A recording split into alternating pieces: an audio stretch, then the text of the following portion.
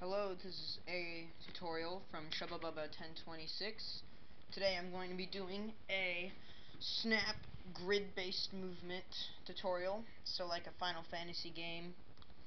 Um, I'm using GameMaker 8 Pro, but you do not need it. You just need a very basic uh, version of GameMaker, like always. So first thing you need, you need a sprite called S Player needs to have four images, image 0 is facing up, image 1 is facing right, 2 is facing down, 3 is facing left.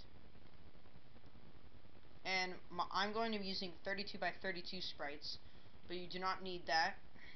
Uh, try. You should definitely make your wall sprite the same size as your player. Okay. So I have a full square here as my wall. Fill in your wall as full sprite. So you need an object, call it O player. Put it as player sprite. Also make an O wall. Have it as the wall sprite. Also click solid. Now if your player sprite doesn't take up the full image, like mine takes up the full image, so I don't need to do this, but if yours isn't if yours isn't a complete square, then your mask should be S wall. That'll help a lot with the collisions. Okay, so the first thing you do is you do keyboard left. Now before we start, I'm not going to be using any code in this whatsoever because I have no clue how to check grid in code. I have no clue at all. So, yeah, if if you're a non-code user, I mean, if you're a non uh, and drop user, I'm I'm I'm not going to be using any code in this because I do not know how to. If you know how to use code for grid checking, please tell me. I, I, I just tried before this tutorial to try to find it. I had no luck. Anyways, so keyboard check left, go to the control tab, and do this grid check. Now, whatever this is, whatever your player sprite is, that's what you want the snap to be at. So mine is 32, so I'm going to put 32 by 32. So it checks if it's aligned to the grid. Then put move, go back to the move tab, click this first one in the top left corner, put it in between those brackets, put move left at a speed of 4. Now it's important of whatever your speed is because it's it you want it to line up with my with, you want it to line up with your um you want it to be uh so let, let, it's kind of hard to explain. My player sprite is 32 by 32. So 32 by 32 is divisible by 4 to get a whole number. So uh, that's what that's what um that's what you want. You want it to you want your your sprite to be able to be uh, divisible by this this number and not get a decimal or a fraction. So if I put 5, that wouldn't be a very good number to put in. That would be a pretty bad number. And if I put 3, that would that wouldn't work either. But if I put 2 it would work it would work, but he'd just go really slow. I could put 8. I could also put um no, I couldn't I couldn't put no, I couldn't put that. But yeah, I could put 8 that's just double, but go too fast for me. So I'm going to put 4. That's a pretty good number. Put that in between the brackets.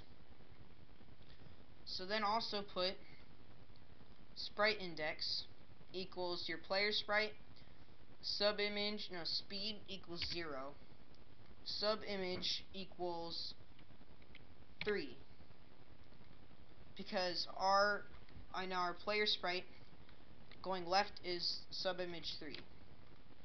So we're going to put that.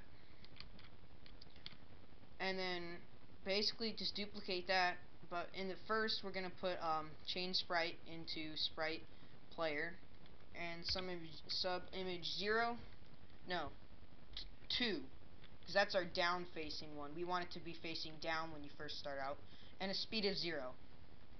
So he doesn't, you know, start moving around real quick. It looks like uh, it doesn't it doesn't look like he's spinning. Duplicate this event with right. and then just change the direction that they move to whatever you know this is right so I make him go right and then change the sub image so that it's uh, 1 because that is our right facing sub image duplicate this keyboard check up start moving up and 0 that is our up facing. Duplicate that and down. That's the same.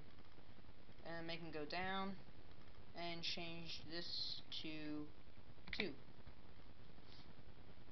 there that should that should be oh no one more thing. Keyboard no key. So if you're not pressing any of those buttons check if it's aligned to the grid. And if it is aligned to the grid then stop moving. Now, if we put this in the game right now, oh yeah, when you're put it, placing your objects, excuse me, and when you're placing your objects in the game, put your snap to whatever the, oops, to whatever your um, sprites are. So mine's 32 by 32. Put that in. That's very, very important. So here's our player. Let's play this to see if moving and spriting works. Yay, so it does work, and it's a very good program too. If you, you press a million a million buttons at the same time, it's not going to get off or anything. You'll still be able to do this. So, if you hold down a button, it doesn't stop on the grid. It keeps on moving. And then the instant let you let go, and it's aligned to a grid, it stops moving. So that works, but now we need our very simple, very, very, very simple. Collision with the wall. It's collision with the wall. If aligned to a grid, then stop moving. So yeah, you can do anything in here. Uh, very really good programs here. But, you know, again, it, it's drag and drop, so it's kind of easy to make.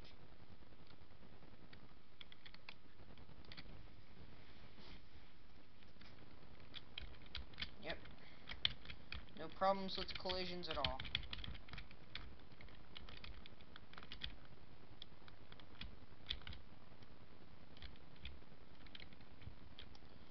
Well, I guess that's about it.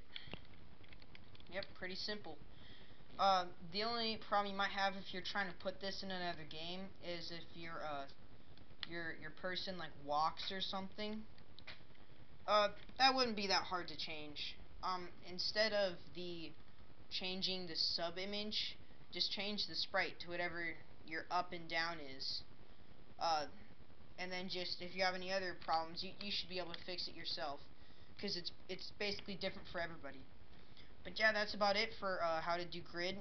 Uh, if I find out how to do it in code, I'll post up another one, another video saying how to do it in code if I find out later.